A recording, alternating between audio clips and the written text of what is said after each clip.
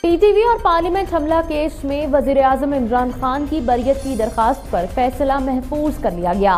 انسداد دہشت گردی کی خصوصی عدالت فیصلہ پانچ دسمبر کو سنائے گی سرکاری وکیل نے عدالت میں عمران خان کی بریت کی حمایت کر دی۔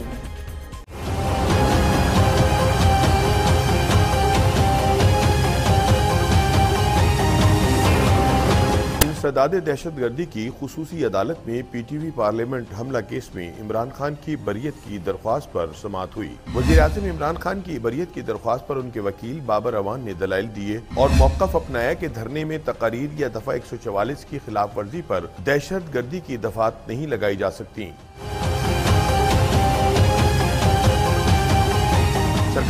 سرکاری اور کیس کے پروسیکیوٹر چودھری شفقات نے عمران خان کی بریت کی درخواست کی مخالفت کے بجائے حمایت کرتے ہوئے موقف اپنایا کہ اگر عمران خان کو مقدمے سے بری کر دیا جائے تو کوئی اعتراض نہیں۔ ان کا کہنا تھا کہ یہ سیاسی طور پر بنائے گئے کیسز ہیں، ان سے نکلنا کچھ بھی نہیں، صرف عدالت کا وقت ضائع ہوگا۔ کے لوگ دھرنے کے دوران مرے اور انہی کی پارٹی کے لوگوں کے خلاف مقدمات بھی درج کر دیے گئے۔ عدالت نے فریقین کے دلائل سننے کے بعد عمران خان کی بریت کی درخواست پر فیصلہ محفوظ کر لیا، جو پانچ دسمبر کو سنایا جائے گا۔